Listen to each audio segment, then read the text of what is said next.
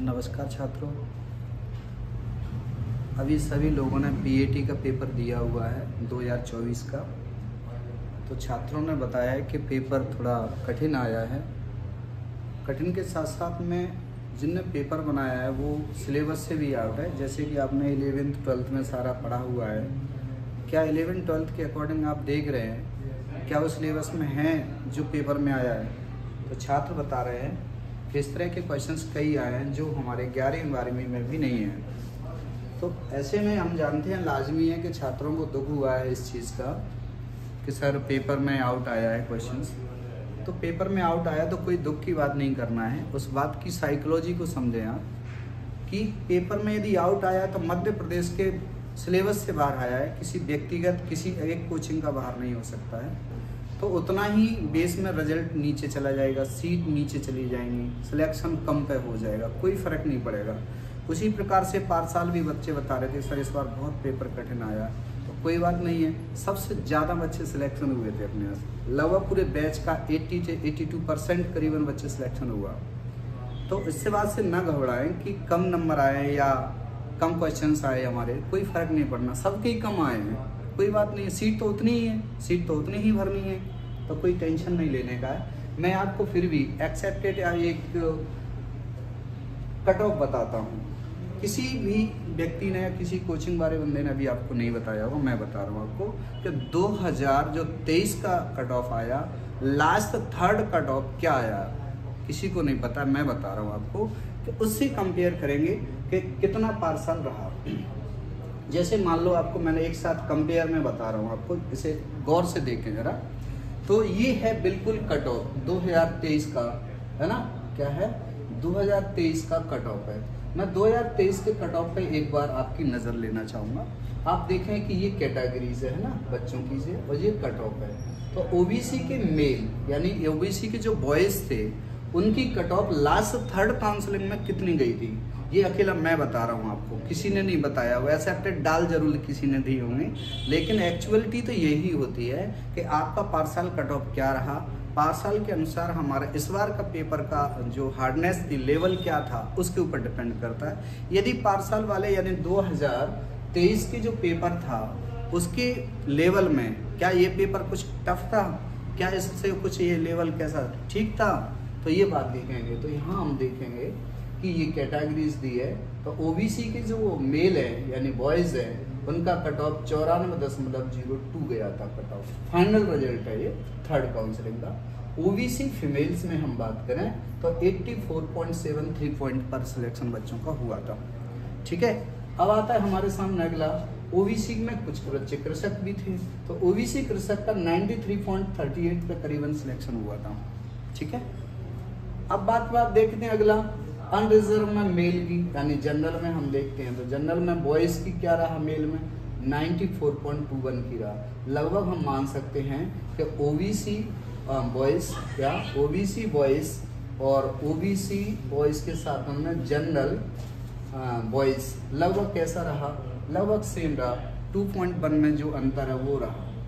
अब देखते हैं अनरिजर्व फीमेल की। तो अनरिजर्व फीमेल में हम बात करें तो 78.35 गया था। और ई डब्ल्यू एस में 93.2829 गया था। एस सी मेल में कितना गया था? 84.79 रहा था। एस सी में क्या रहा लगभग? 77 पॉइंट रहा था। एस टी में मेल में क्या रहा? 72.5 रहा। एस टी फीमेल में 66.07 रहा तो इससे हमें पता लगा कि पारसाल क्या रिज़ल्ट रहे? पारसाल क्या रिज़ल्ट रहे? 2023 में। तो आप बिल्कुल आप अपने से आप कंपेयर कर सकते हैं।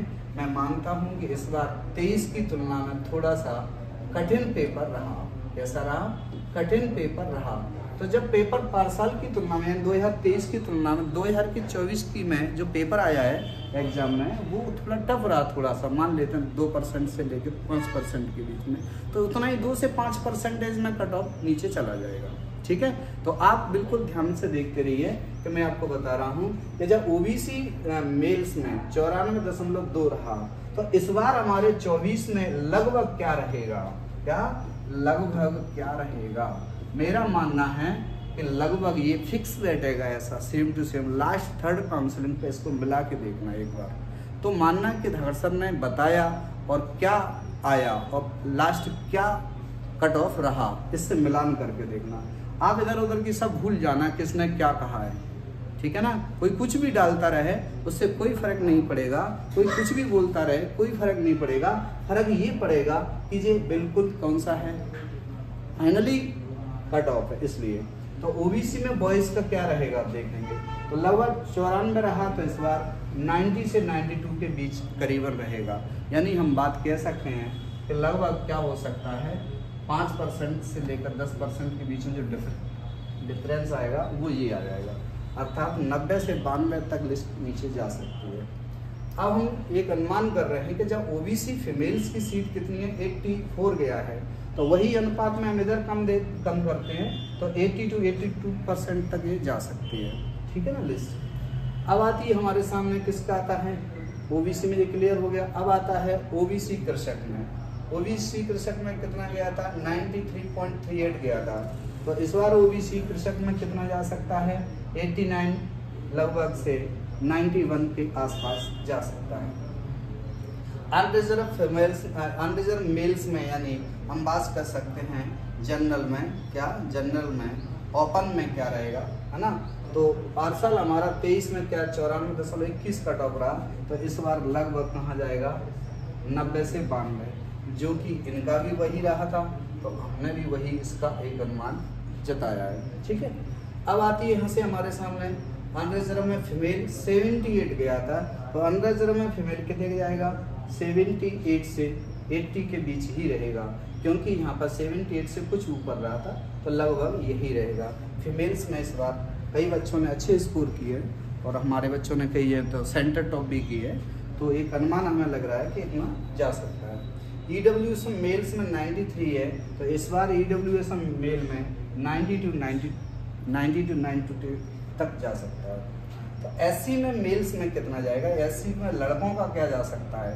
तो चौरासी दशमलव सेवन नाइन तक पार्सल गया है तो इस बार एस की मेल्स में बॉय में 80 से बयासी, यानी 80 टू 80 80 से 82 तक जा सकता है।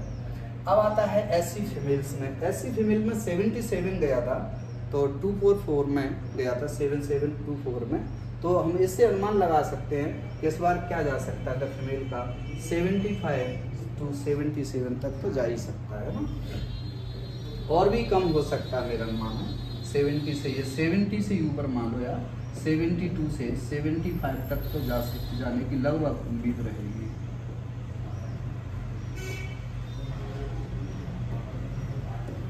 ठीक है? तो ये अनुमान इसका रहेगा लगभग। और एसटी में मेल्स की यानी बॉयज़ सेवेंटी टू रहा एस में सेवेंटी टू सेवेंटी टू के सेवेंटी डे सेवेंटी टू के आसपास रहेगा। अब आता है हमारे पास एस टी फीमेल्स छियासठ नंबर पर गया था तो इस बार एस टी फीमेल्स लगभग पैंसठ से सड़सठ या और भी नीचे हो सकता है। लगभग ये हमारे सामने एक कंपेयर में किया गया है। तो जो छात्र या जिन छात्रों के नंबर इनसे मिलान खा रहे हैं, अर्थात इनसे कुछ ऊपर है एक दो नंबर, वो लगभग समझें एक दूसरा इसमें अभी फेरबदल ये भी होगा, क्या होगा? फेरबदल भी होगा। इस बार चार पेपर हुए हैं। क्या हुए हैं? चार पेपर हुए हैं तो हो सकता है नॉर्मलाइजेशन में कुछ नंबरों में बदलाव भी होंगे। और दूसरी बात, कुछ क्वेश्चंसों में कैंसिलेशन होता है तो कुछ क्वेश्चंस कैंसिलेशन से बच्चों के नंबरों में भी फेरबदल होता है। तो लास्ट में जो रिज़ल्ट रहेगा, उस बेस मेन रहेगा। अभी जो आपने अनुमान है हमारा उससे आप कंपेयर करके चलें और जब रिज़ल्ट आए तो इससे ये देख लें। लेकिन उसके बावजूद भी एक काम ज़रूर करें कि अभी ये से ऐसा ना समझने लगा कि नहीं, ये फाइनल ये और हमारा हो जाएगा या हमारा नहीं हो पा रहा है। ऐसी कंडीशन में एक बात ध्यान दें, अपनी कोचिंग्स को ज्वाइन कर लें। ज्वाइन करने के बाद आप ये ध्यान दें कि हमारा रिज़ल्ट कब तक आएगा और काउंसलिंग कब तक होगी। फाइनली तक मैं आपको बता दूँगा कितने तक होगी। तो तब तक आप पढ़ते रहें, अपनी पढ़ाई कंटिन्यूस रहें, अपनी क्लास आते रहें, कोई दिक्कत नहीं है। तब तक के लिए आपको कोई फ़ीस नहीं देना है। जब तक आपके हमारे सरकारी जितने भी कॉलेज हैं, इनमें आपका सिलेक्शन ना हो जाए। नहीं होता है तो आगे की दें, और होता है तो आपकी कोई फ़ीस नहीं लगेगी, कोई चार्ज नहीं लगेगा। लेकिन एक, दो महीना, तीन महीना, इनको आप बर्बाद ना करें। हमारी क्लास कंटिन्यूस स्टार्ट है, हमारी क्लास आप आते रहें, कोई दिक्कत नहीं है, ठीक है? और हमारे जो पुराने जो 2023 के कठिन से कठिन रिज़ल्ट रहा था, उसके बावजूद भी अच्छे से अच्छे नंबर लगभग 80 से बयासी प्रतिशत छात्रों ने बैच का लगभग सिलेक्शन लिए थे। उनमें से कुछ आपको मैं बताता हूँ, जो आईसीआर में हुए थे, जो भारत की विभिन्न यूनिवर्सिटी में उन्होंने अपना प्रदर्शन किया। तो ग्वालियर का एक अचीवमेंट और ग्वालियर में मध्य प्रदेश को पहचान बनाने वाले मेरे जो स्टार्स हैं, कुछ बच्चे, जिनके हमारे पास फ़ोटो सामने दिखाई दे रहे हैं। राहुल राजपूत है, जम्मू कश्मीर इनको मिला है, तरुण शर्मा है, अवधेश है इनको मणिपुर मिला था और इनका तो डबल हुआ था। क्या हुआ था? आईसीआर में तो हुआ ही है, प्लस पीएटी में भी हुआ है। आईसीआर में हो गया तो मणिपुर मिला। तो मणिपुर मिला तो उस समय थोड़ा मणिपुर की एक हवा खराब थी तो वो कुछ दंगे हो रहे थे उस समय तो ठीक है, उसको नहीं जाने दिया। तो एम पी में इनको ग्वालियर मिल गया, ठीक है ना?